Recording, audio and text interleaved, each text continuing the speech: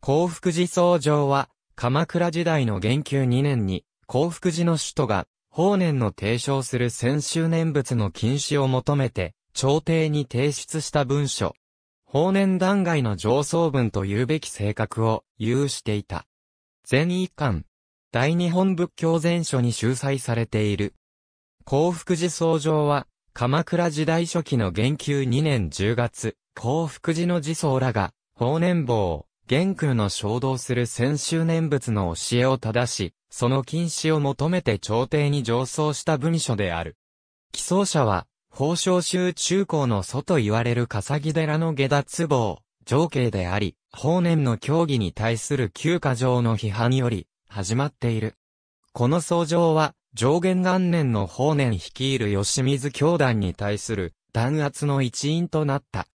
また、同相乗中の八修道神の訴訟という文言が、鎌倉仏教及び日本仏教史研究家の田村延長によって注目され、日本の古代仏教に関して、八宗体制論という理論的枠組みを生む契機となった。ただし、相乗を構成する本文と副文の関しては次のような疑問も出されている。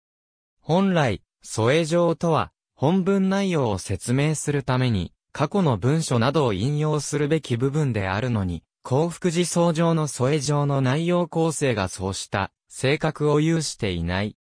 また、添え状をつけた場合でも、本文の末尾には日付を記入すべきであるのに、それが欠けているなど、当時の相乗の書式とは異なっており、添え状とされている部分は、同時期に出された別の文書の挿入であり、それが、情景以外のものの手による可能性もあるというものである。その説に従えば、情景が執筆したと判断できるのは、誠公誠恐れ金言までの、いわゆる本文の部分に限定されることになる。なお、幸福寺相上の出された、前年の原文元年には、比叡山延暦寺の首都が、天台座ス申請に対し、先週念仏の禁止を要求しており、これに対して、法然側も、延暦寺にも、弟子らと共に署名した樽状を送付している。相上は、先週念仏を非難する理由として、新宗を立る質から正当な論拠を示すことなく、直居も得ずして、新しい宗派を立てること。心臓を図する質から、先週念仏のとのみが救済されるという、根拠に乏しい図像を浪すること。釈尊を軽んずる質阿弥陀如来のみを礼拝して、仏教の根本を説いた釈迦を軽んずること。万全を、防ぐる質から、称名念仏だけを重んじて、増持造物などの善行を妨害すること。霊人に背く質や綿神や春日神など、日本国を守護してきた神々を警部すること。浄土に、暗き質から、極楽王城にまつわる、主樹の教えの中で特殊で変更した立場に公伝する、こと。念仏を誤る質から様々な念仏の中で、もっぱら称名念仏に限って返上すること。釈宗を損ずる質から、王女が決定したなどと公言して、悪行を働くことを恐れない不心得な念仏者が多いこと。国土乱流質大国を守護すべき仏法の立場をわきまえず、正しい仏法のあり方を乱してしまうこと。という具体的で詳細な、旧過剰の質を掲げた。法年像、飛行の見影、知恵第一の法年坊と称され、学識他に並ぶものなしと言われた。彼は先週念仏を説いた。冒頭において、僧正は、日本に古来あるのは八宗のみであり、それ以外の新宗が建てられたことは、今まで絶えてなかったと述べ、法然が今無断に改装することは不当であるとして、たとえ、法然自身が立祖に耐えられるだけの知恵や能力を有していたとしても、朝廷に上奏して、直居を得て改装するのが道理であると主張している。また、添え状が一通添えられており、その内容は先週念仏の停止と法年指定の処罰を朝廷に請うものであった。これは、先週念仏とそれによる、他力往生の提唱が、厳密諸州に対して、極めて大きな脅威を与えていたことを示すものであり、攻撃対象は、法年その人ばかりではなく、むしろ法年に帰依した無知不全の輩に対して向けられていた。というのも、3、4、5、7のように先週念仏のとは念仏以外の一切の信仰を否定する傾向が顕著であり、8に見られるように、極端な例では、在業深き役人でさえ救済されるのであるから、戒律や道徳は無視して良いと考える、狂信的な人々を含んでいたからであった。相乗はさらに、浄土宗の教えは、京都周辺では、まだ穏やかなものだが、北陸地方や東海地方などでは盛んに破壊が行われていると訴えている。これは、1、5、9で主張しているように、常に国家と結びつき、王法すなわち仏法の立場に立って、鎮護国家の思想を前面に打ち出していた規制の、教団にとって強い危機感を生じさせるものであった。ここには、八宗が並んで国を守ることが、日本仏教のあるべき姿であるという主張と、すべての経典、教論を見渡した上で、あらゆる立場に対しそれぞれ得るところありとするような、教学体系の保持が尊重されるべきであり、特殊な教説を選択して、そこに固執するという信仰姿勢は容認できない、異端の説であるという主張が認められる。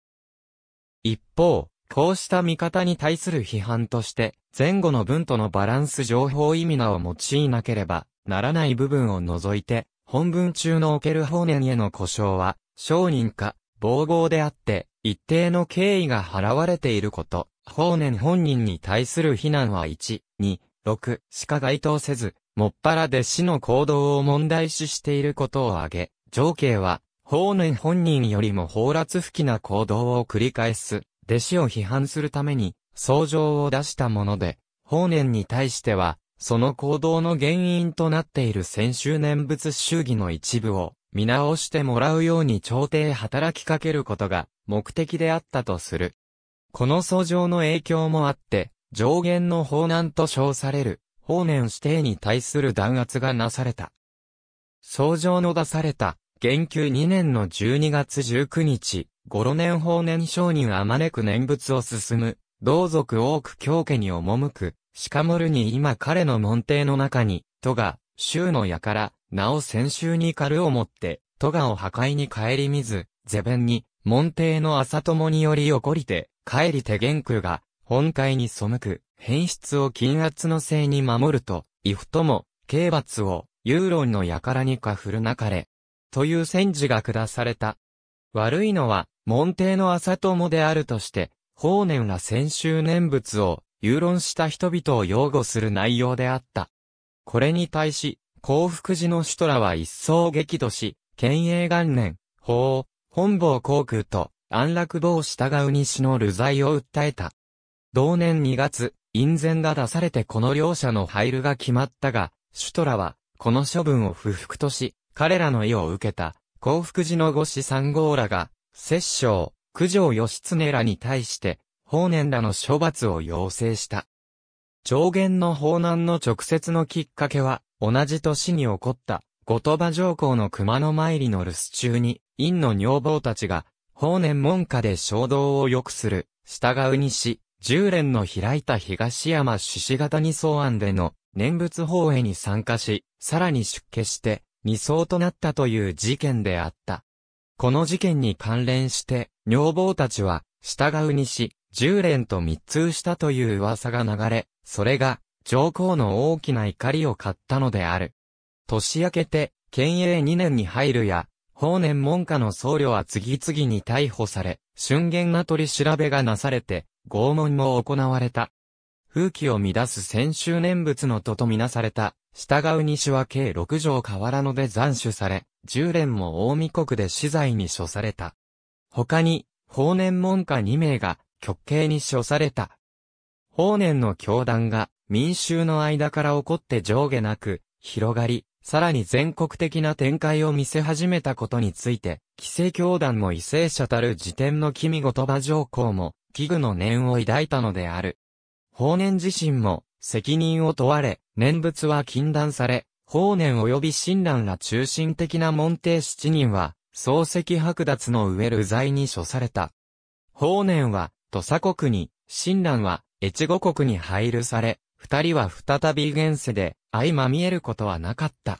法然は後に気楽を許され、吉水に戻り、その翌年の建略2年に、東山大家で入弱した。同年、華厳宗の構想として著名であった、鉱山寺の明恵上人公弁は、法然批判であり、選択本願念仏宗批判の書である、最邪林を表している。